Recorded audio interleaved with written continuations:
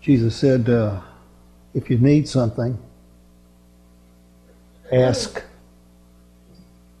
If you need something, ask your Father, which is in heaven. In the name of, and He will take care of the need. Do you believe that? I do. I've seen it for years. He will take care of the need. That's personal need, that's corporate need, that's community need, that's whatever. We're going to talk about some of these things in a few minutes here. Prayer uh, can be either or. It can be, Lord, take care of my needs, our needs, or it can be, Lord, to you belongs praise and glory. And that's what we offer today in the name of Jesus.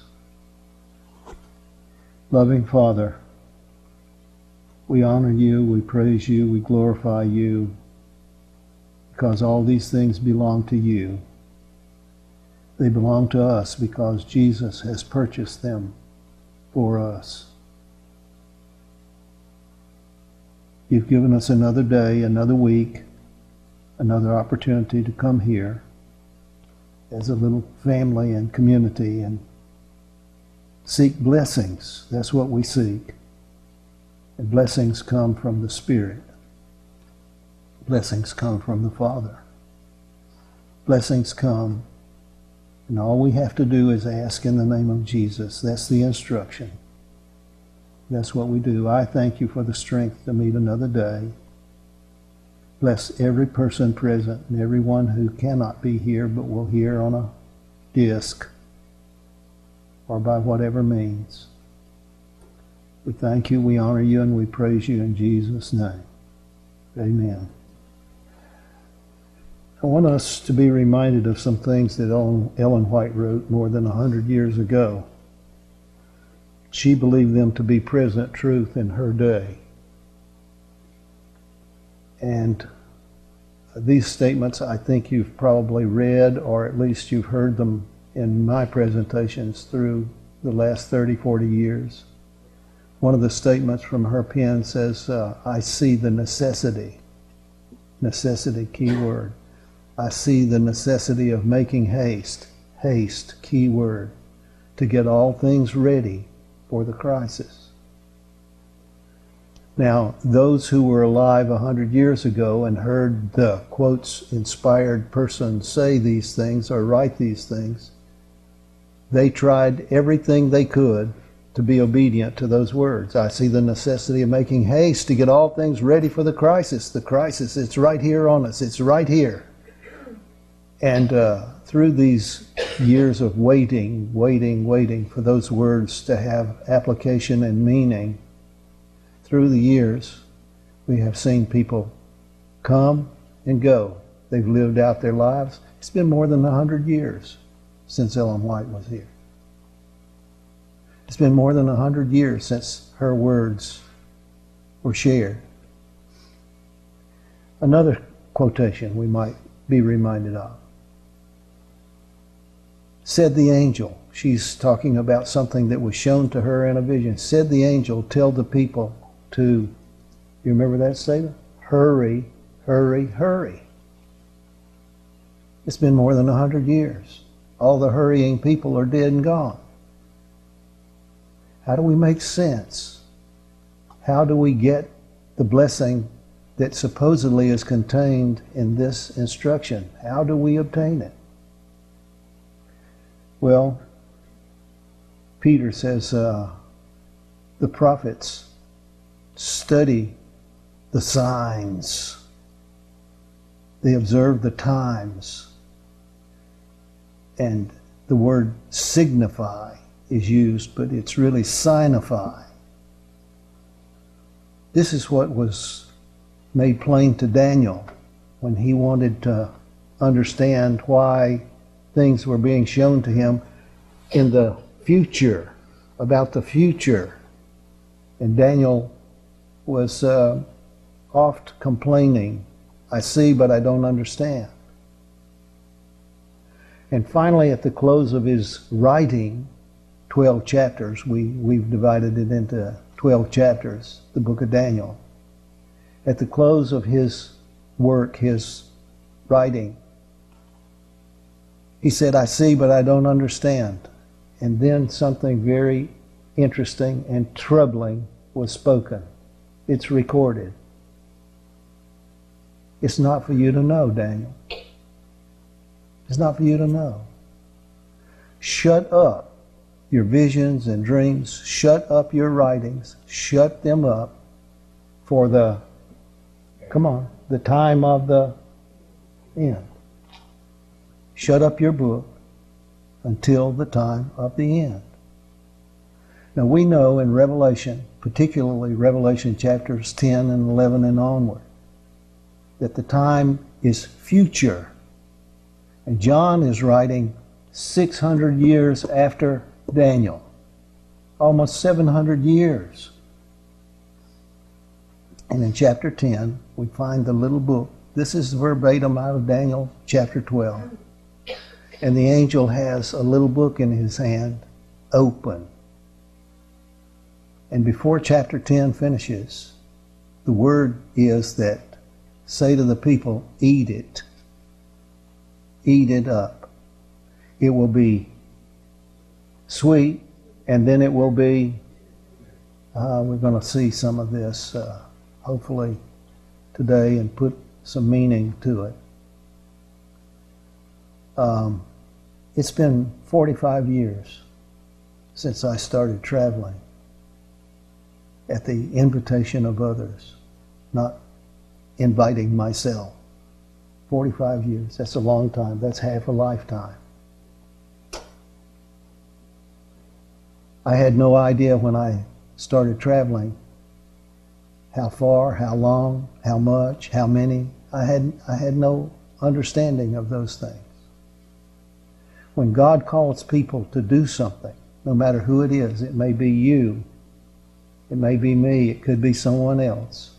When God calls someone to do something, he does not see fit to show every day, every week, every month, every year what's going to happen before it happens. Does God know what's going to happen before it happens? Yes, He does. I know the end from the beginning. Well, why doesn't He share these things? Because it's not for your good to know these things.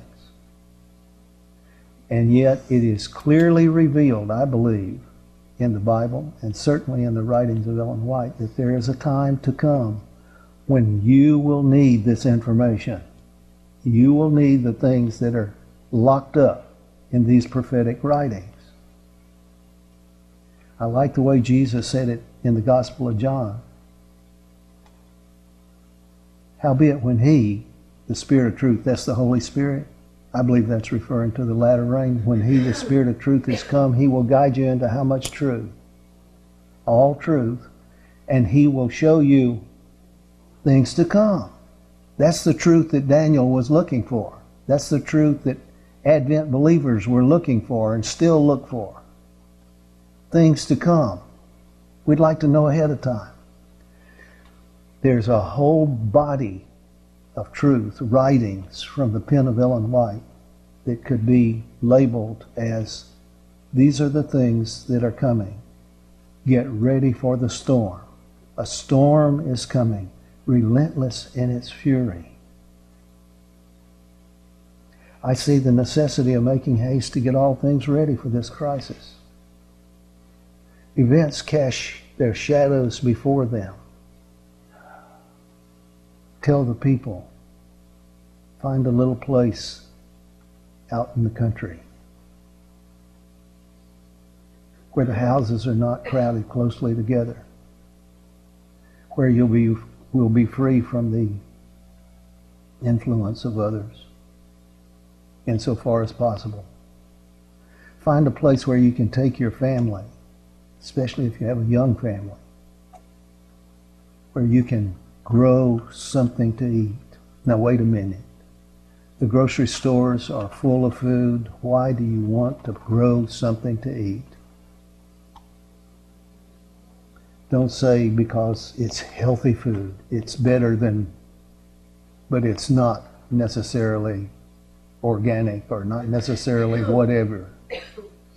Why would you want to grow something to eat? What does that suggest? Exactly what Jesus said will start or begin the time of sorrows. Matthew 24.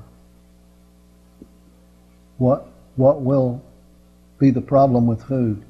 And there shall be famines and pestilences, diseases. You listening?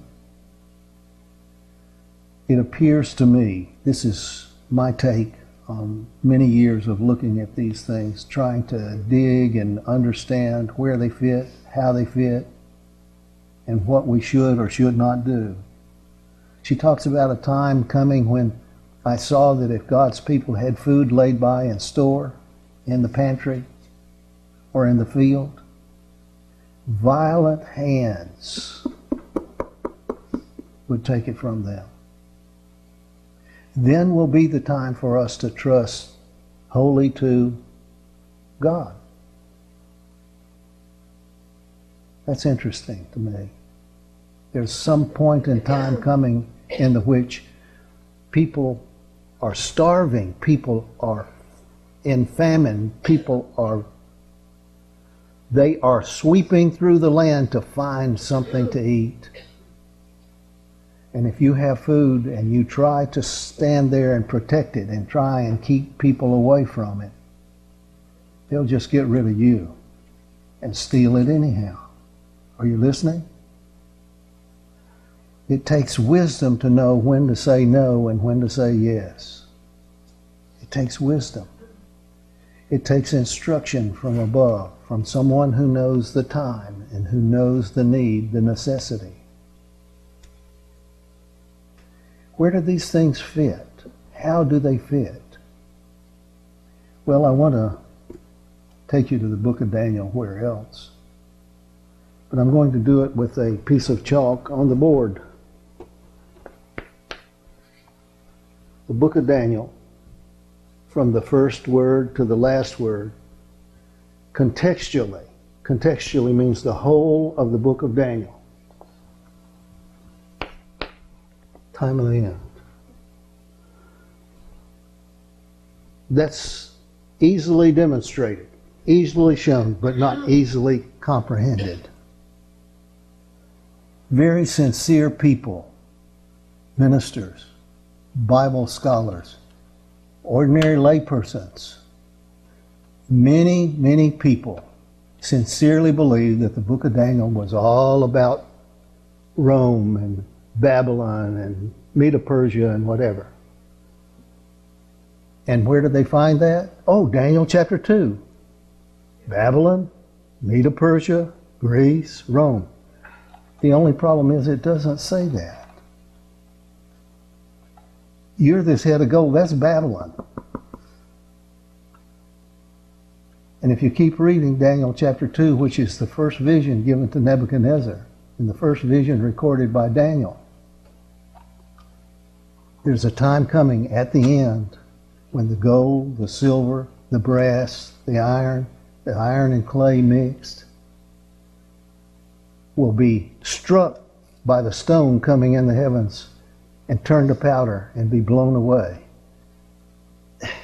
If they're 800 years before, or 1,000 years before, or 3,000 years before, they cannot all be struck at the same time. So, are you trying to say that people believed a lie? No. God has demonstrated repeatedly that He has to keep His people alive and encouraged and full of hope. And when one generation passes, the message of hope has to go on to the next generation and the next generation. Well, what if we're the last generation?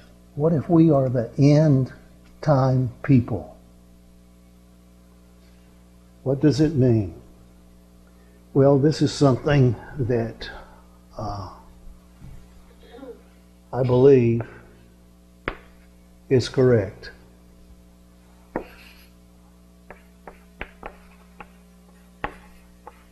You'll have to forgive me. There was a time in my life when I could write without scribbling, but I put these on the board for a reason. I am totally, thoroughly, completely persuaded that they're all about the same issues in the same time, the time of the end. In Daniel chapter 2, it's not difficult to show this and demonstrate this.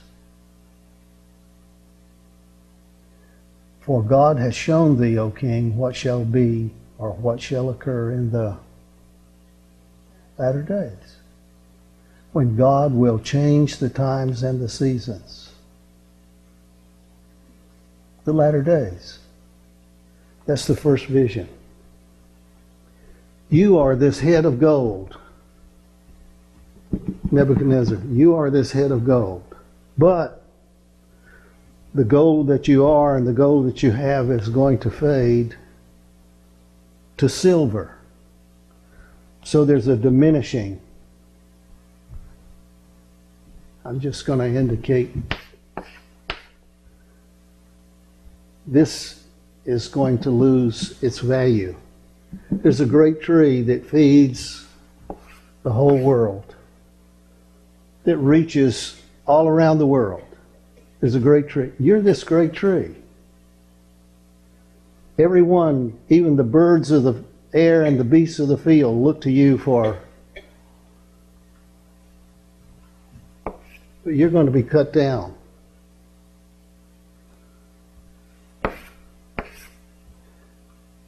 Here we are, instead of four metals, we have four beasts. We have a lion, a bear, a leopard, and a terrible beast. How many? Four. A lion, a bear, a leopard, and a terrible beast. The terrible beast in Daniel says he's nondescript. You can't. You, he doesn't look like anything you've ever seen.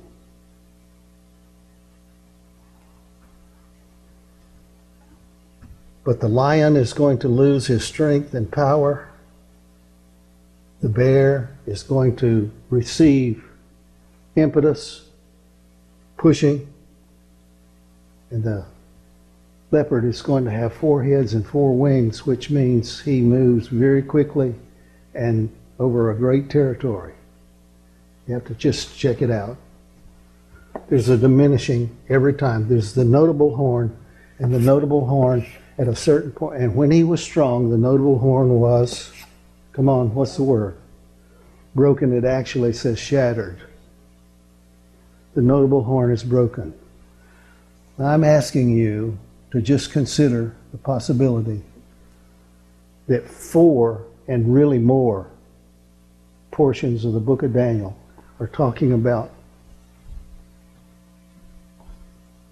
you're the head of gold. You're the great tree. You're the lion. There's a lion, a bear, and a leopard. Which is the strongest? Come on. The lion. The lion is. And he doesn't just have sparrow or hummingbird wings. He has what kind of wings? Eagle wings. You, this is a this is a beast representing a power a civil power, an earthly power, and he's going to be humbled. So I'm back to Ellen White. I see the necessity of making haste. There's a storm coming, relentless in its fury. There's something ahead at the time of the end. There is something that is coming. And uh, whatever you're going to do to get ready for the crisis, you have to do it. Now, that sounds self serving at first, but not everyone has the ability to just make preparation for a global crisis. So Jesus said, It will be as it was in the days of Noah. where people instructed to get ready for the flood? Was there a call to people to get ready for the flood? Of course there was. God didn't say, uh, give them 30 days and let's drown them out. How long was the preaching going on? 120 years. All right? Tell me why the people laughed, paid no attention, little or no attention. Tell me why. There were no great oceans. What are you building a ship for on dry land? And who knows what a ship is? You, know, you listening? So Peter interprets that, and you can check First and Second Peter out. He talks about Noah and the flood and all these things, and they they they should have known, they could have known, but they they didn't. They were skeptics. All things continue as they were. I've heard that many times in my own preaching. What part do you and I have to play in what's ahead? Well, this is where I want to focus for a few minutes, please. If you represent a family, a, a father and a mother, and young children, you have a you have a different responsibility. You have a different burden than someone who's 60 or 70 or 80 years of age. Our children are gone out there and they are old enough and capable enough to take care of themselves if they've got sense enough.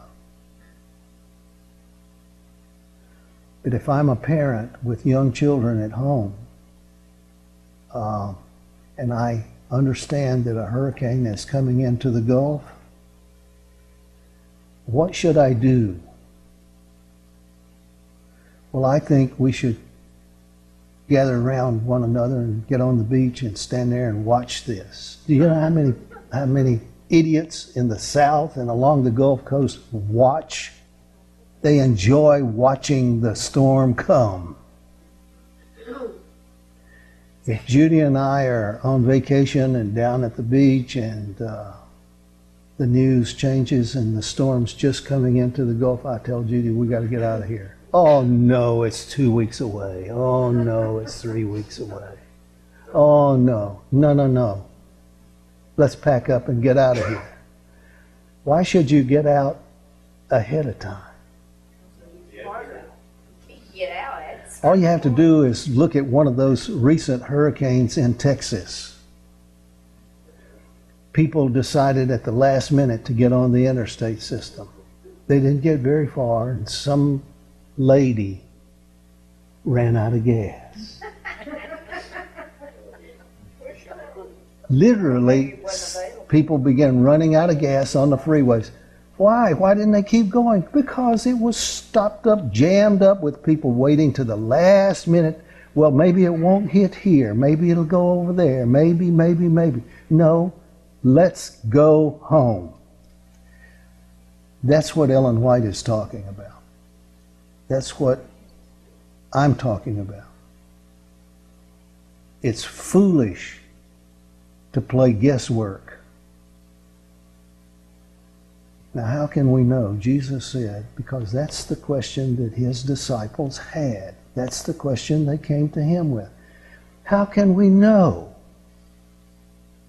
They said, well, you're going to see this, and you're going to see this, and you're going to see this, and this, and this, and all these are the beginnings of happy days. No, there are signs. And in the book of Daniel, uh, chapter 12 especially, the wicked are going to do wickedly. None of the wicked will understand. Who are the wicked? They're contrasted or juxtaposed to the wise. The wicked will do wickedly. None of the wicked will understand, but the wise will understand. If you want to check out what wise or who is spoken of in the wise, just read the book of Daniel and read elsewhere. The wise are those who observe the times. They are watching the times. they see that the time has come. That's not always easy to see or easy to meet. So, um, if we look at history as fulfilling prophecy, there's Babylon, there's Medo Persia, there's Greece, there's Rome, and this is over a period of how many years? Centuries, centuries, centuries. But let's push it all together in three and a half or a few more years. Let's push it together. There, there are statements aplenty prophetically. You're this head of gold, but you're not always going to be gold. You're a great tree, but you're going to get cut down. Yes, you're the leading, you are the first beast, you are the number one beast, but you're going to be humbled. And finally, let's do it this way. Chapter 2, 3, and 4 in the book of Daniel talk about the wealth, the power of wealth for America. 2, 3, and 4. 7 and 8 are not so much about financial matters as about military. I saw a ram coming with two horns and he was pushing, pushing, pushing, pushing, bullying. And somebody came from the west across the face of the whole earth and didn't touch the ground. That leaves air and water. I mean, come on didn't touch the ground as he came. And he came to the ram, which I'd seen standing beside the river, and he threw him to the ground and stamped on him, and no one came to his aid. Why not? because the guy with the notable horn coming from the west don't get in the way. And we've identified for 45 years that the time is coming that Iran is going to be the pushy, the pusher, the troublemaker. I know you folk don't follow the news. I know you don't.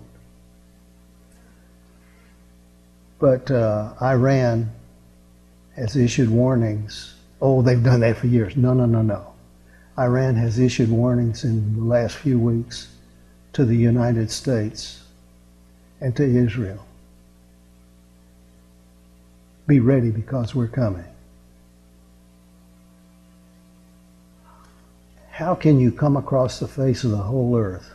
Well, airplanes there, that's easily seen today. How can you come across the face of the whole earth and you don't even have to sit down, sit down on the ground and take, well, that's bombs and missiles. Well, um, I know you don't follow the news, but this week the president announced not simply the plan, but the reality of Space Force, American Space Force. And what is the purpose of building and sustaining a space force? You want to go to space? I don't except when the Lord comes. What's the Space Force all about? Well, just a decade or two ago, 10 to 20 years ago, there were only a few satellites up there going around. The Russians sent Sputnik up. And within two or three years, we sent our first satellite up. Today, listen, there are several thousand satellites up there going around for all kinds of purposes communication, spying, all, all kinds of satellites going around. Some of them are killer satellites. If you've never heard of them, get online and do yourself a favor. Just type in killer satellites and the Russians have them, and the Chinese have them, and we have them, and, and, and. What's a killer satellite? Well, it's designed to sit there until it receives a signal from Earth down here. It sits up there in space, ready to maneuver, ready to move and aim its weapons at other satellites. Oh, how are you going to point a bullet? Uh, how, how, how are you going to? No, it's not. It's not done with bullets. It's done with laser weapons. It's done with other weapons that have energy, energy weapons, we call them. And uh, we have our satellites up there, and the Chinese know it, and the Russians know it, and everybody knows it who's in the business. And so they're trying to target our satellites, our killer satellites, before they launch any of their weapons or use any of their weapons. So they keep us in the crosshairs. All of this is very current. If you don't know it, you're doing yourself a disservice. Well, what does this have to do with Bible prophecy? It has everything to do. Making fire come down out of heaven in the sight of men. Has everything to do. Where are you going to hide when this time comes? God says, find a little place where the houses are not crowded closely together. Right now, this seems silly and far away. It is not silly, and I'm afraid it's not far away. There's too much evidence that Iran is getting ready to do something very silly and stupid. It's, it's just, it's the handwriting on the wall, if, if I can put it that way. Let's say this again these chapters 2, 3, and 4, they speak of the great wealth. You are gold. You are. You are feeding the world. You are. This is our wealth. That's our power, is our wealth. These visions, 7 and 8, are about our military prowess. What does that mean? It means exactly what the president said last week to the world. When Russia announced, we have super new weapons, and the president said, we have super weapons too. I'm not afraid of super weapons. I'll tell you what I'm, what I'm fearful of. I'm fearful that we have, as Christians, and Advent Christians in particular, we have as Christians been given a work to do, a task to meet and complete.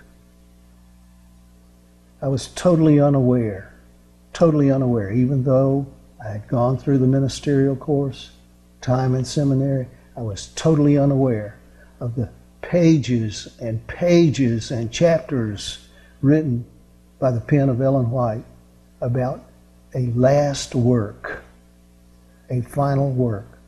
The time is coming when all work among us will be closed. All the ways we do evangelism will, will close. Schools, hospitals, evangelists. There will be one thing left, and that's the power of the printed page. I'm quoting. There will be one thing and that's the printed page. So I was faced with this in 1974. I was driving nails right there on the house, right there, right down there. And friends showed up and said, We believe God wants us to talk to you, and we need to tell you what we believe God wants done. We believe God wants you in the publishing work oh, I've told you this story, but let's, let's add a little bit. I didn't act like uh, Sarah in the tent and laugh behind the tent, but I, you know, I said to Joe Ring, who was the publishing secretary for the South Southern Union, I said, Joe, you know this is not for me. Don't say that, Joe said. We've been praying, and that's all we've come to ask you to do is just pray about the matter. I'm not going to leave till you promise me you will pray about the matter. I said, All right, Joe, I will pray about the matter. Now, I already knew what the answer would be because I'm a prescient person. I, I, I have the ability to know the future. And I knew that, okay, I'll pray about the matter. But I knew God was going to say, I want you to go take another district, and I want you to preach, and I want you to do this and so. And I prayed about the matter, and I got an answer just like that. This is what I want you to do. I was so struck by how quickly the answer came and how clear the answer was that I called the pastor of the Birmingham First Church and I said, I want a private baptism. I'm coming. Will you draw the water? Brother Charles, just say it and we will draw the water. I said, don't want an audience. Don't want to advertise it. But I want to be rebaptized. And that just, it, it was empowerment. I'm talking about spirit power meant. And I began to see things and understand things, comprehend things that I had never known were in the books. Miracles. I know what miracles look like. I have seen many of them. I see them still. Now, this is what I believe, folks. I believe that every person who is in this little community right here whether they understand it or not, is related to the future of this ministry. Not just the past, not just the present, but the future of this ministry. I believe that when we publish these books and send them to millions of people in this country and abroad, I believe folk are going to be so happy. I believe folk are going to be so pleased. I believe they're going to be sending letters of congratulations. No, I don't believe that. I believe what has been will be again. If they've done these things in a green tree, what are they going to do in a dry? I'm telling you all of this before it comes to pass, so that when it comes to pass, you will believe. You will believe. We've tried for years to encourage folk to get survival buckets, get, get some, I still think it's a good idea. And if the date runs out on that bucket, empty it and fill it again. That's what people have been doing for thousands of years in the Bible. Some things are happening that I believe Ellen White was shown and describes. I saw that at this time, talking about the time to come, there will be a time, a, a brief season of great prosperity. I believe that's just about to happen. Oh, I'll take it. Great prosperity. And what is the purpose of that great prosperity? So that you and your family can pay your bills until you are out of bills so that you and your family can pray and ask God specifically for direction. Is this the safe place? Do we stay here? Do we stay here and find another place to go to when the time comes? Those are answers I don't have, but God does. And we have ample instruction about what to do and what to ask and when God says, we act, we react, we obey, we do. I was uh, I was new to the canvassing work, the book work. Stephanie was five years old. My wife was young and beautiful. And I saw right away that the bookwork, I come from a long line of salespeople. My daddy, my grandfather, down the line. I could see that things were being done in the bookwork that hindered the work, that held back progress in the work. And the only way that the work was going, if it was increasing, it was only because they were increasing the price of the books. Not how many books were going out. But oh, we, we, we did a hundred thousand more dollars worth of business this year than we did last year. Yeah, you did, but fewer books went out. You just raised the price. So I was sitting here in Chilton County, Alabama, and I was thinking about it, praying about it. And I had a five year old daughter who uh, decided to go looking in my cases uh, that I took the books to canvas with, show people the books. And my five year old daughter would go when I was not out canvassing. She would open the the case, the satchel, and she would practicing selling, practice selling books. She could give a good canvas. It's, it's amazing. She would practice selling books. Well, I was asking God, is there a better way? Because I was calling on homes of very sincere people, some of them wealthy, some of them poor as church mice.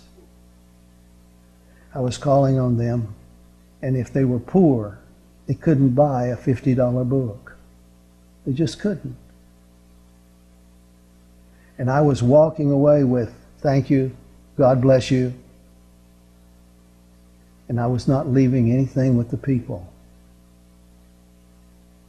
And Ellen White had spoken specifically to this issue. She had said, leave something with the people.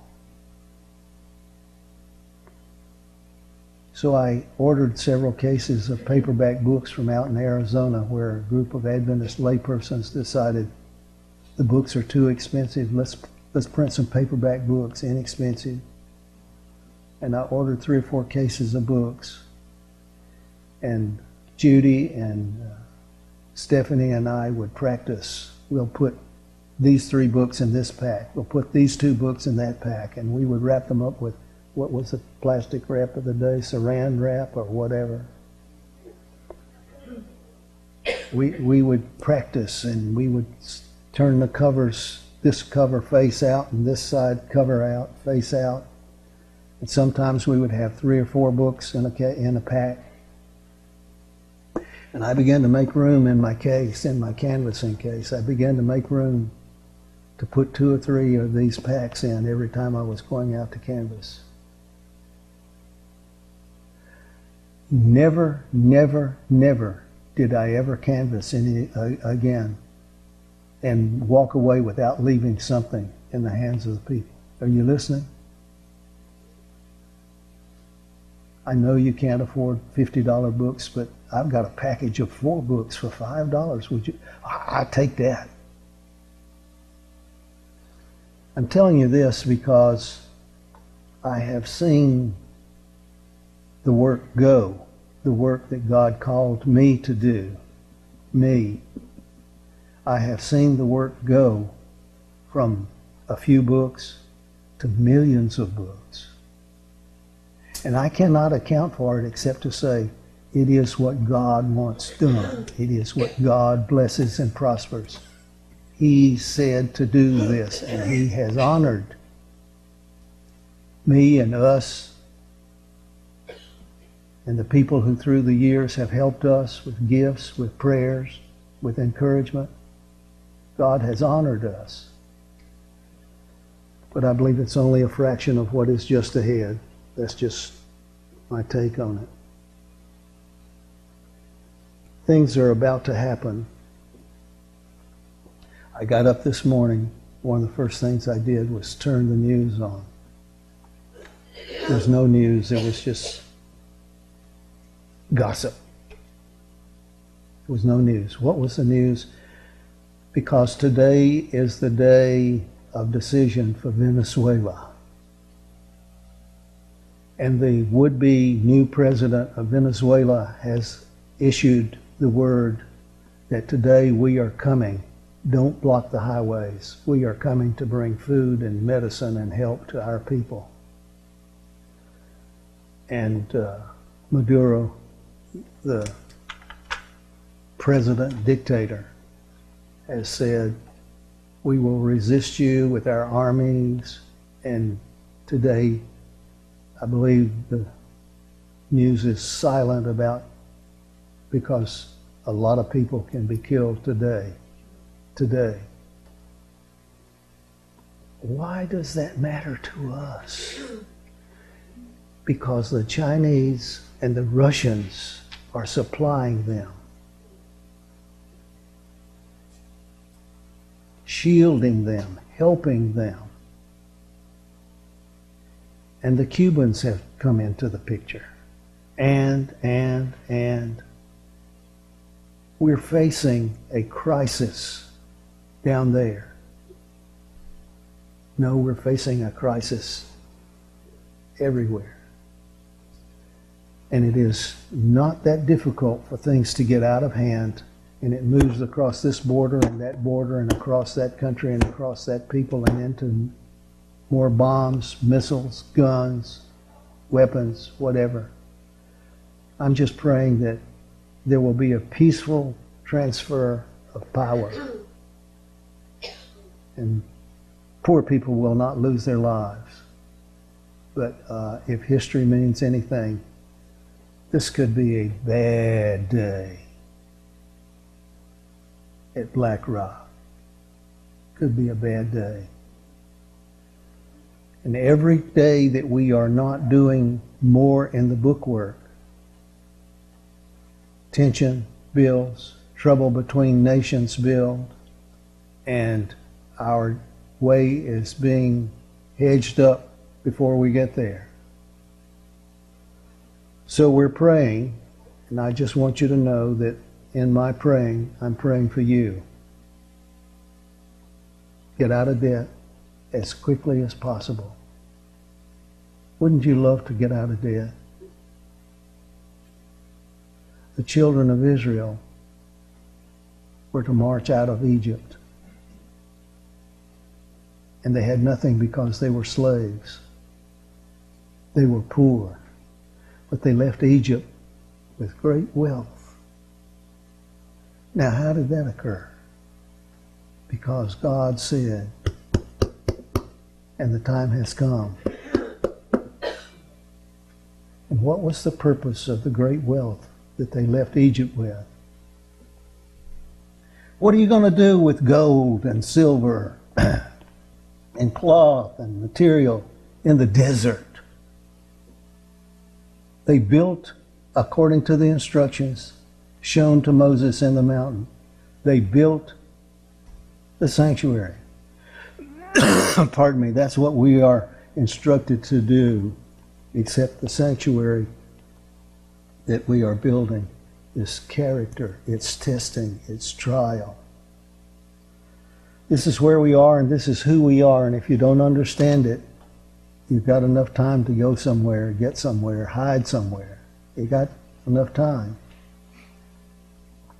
I'm just thankful, thankful, thankful for what I have seen. This Parkinson's just muddies my memory. But I can remember enough, and I can recall enough to know that was a miracle. That was a miracle.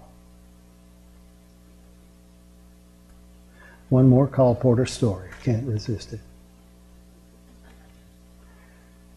My intention was to leave here and go to Tuscaloosa for the day because I had a stack of cards from the doctor's offices. And I had quite a few in Tuscaloosa that I needed to go follow up on. And if you're going to go to Tuscaloosa, uh, you can go a variety of ways, and I decided to take the shortcut through the backwoods of Chilton County and Bibb County. Some of you know that way.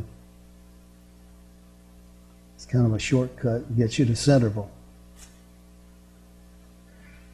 On this particular occasion, I left with the intent of the, taking the backwoods route, get to Tuscaloosa. I rounded a curve somewhere between here and Centerville, out in the woods. No houses this way, that way, no houses this way, that way. You could go two or three miles without seeing a house. And I was making the bend in the curve, and suddenly there's a house. I'd seen the house many times, but I'd passed by the house many times. They didn't send a card in. Go to this house. It's daytime, work time, for the husband of the house to be at work somewhere. That could leave the wife vulnerable at home alone or at home with children or whatever. And uh, I'm a man unknown, and I pulled up in the driveway of this, this house. Not a driveway, just part of the yard. Pulled up, and I got out of the car on the driver's side and went around, got my case on the other side. And the lady of the house, a young lady, attractive young lady of the house, came to the door and she latched the screen door. I could see that before I got, you know, smart thing. And uh, I'm about 10 or 12 feet from the door, and I said to her, she's behind the screen door, I said to her, I'm the Bible story man. I'm the guy that leaves the books in the doctor's offices. She unlatched the screen and held the door open for me to come in. Are you listening?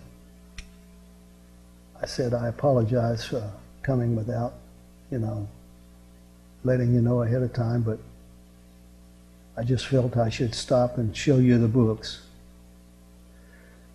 And as best I can recall, this is what she said. She said, uh, You know, I've seen those books for several years, but I thought I'll get some of those books one day. But I never got around to it. Never sent a card in, never whatever.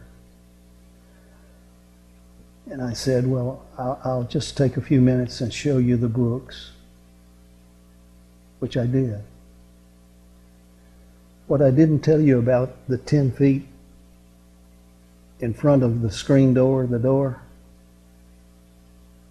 is that I could feel against my shoulder somebody walking with me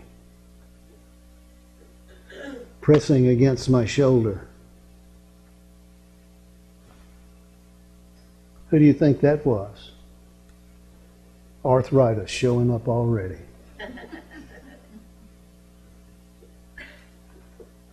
I had the sense at the time of knowing God told me to stop at this house. And now I'm going to go through the door, and someone is going through the door with me if you've never experienced something like that, it's uh, you can't put it in words. I mean, you can, but you can't. She bought several books. She bought a Bible readings for the home. She bought a Triumph of God's Love. She bought a Desire of Ages. She bought a family Bible. She didn't have any children, so she didn't buy children's books. But that's all she knew in the doctor's offices. God saw more than that. If you were out and you heard a voice say, Go to this home with your books, go to this home, how would you respond? First of all, you would have to know that it's something supernatural telling you to go to this home. It's a supernatural voice or supernatural experience. Something about what is taking place here is above natural, above nature. It is supernatural. How could I know which voice was speaking? Because the devil never told anybody to buy Christian books. That's how you know.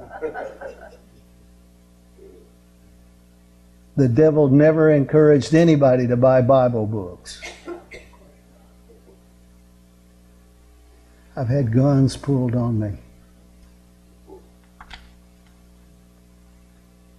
I've been cursed just about everything you can conjure up for curse words. It's amazing. It's really amazing. It's beyond amazing. It's miraculous. And these are just a foretaste of what is going to happen when the outpouring of the latter rain. Ellen White, now close. Many of these books will go on the shelves and go unread. But the day is coming when these books will be sought after. They will be taken down and they will be read. And many will trace to these books. See? Father in heaven, we thank you as a little community, as a little family, as a body of believers. We thank you that this ministry exists because of what you have done and are doing. And we thank you and we praise you for what we have seen with our own eyes and heard with our own ears. We thank you for the promise of a greater work yet to be done. Bless us. Help us to hear your voice. Each of us, help us to hear and comprehend it is the voice of the Spirit. I pray that you'll bless these people so that they will know what to ask, how to ask, and how to praise God for answers. We thank you for an opportunity to gather as a, as a family here today and share a meal. We thank you for the power of your Spirit and your word, and we thank you in Jesus' name. Amen.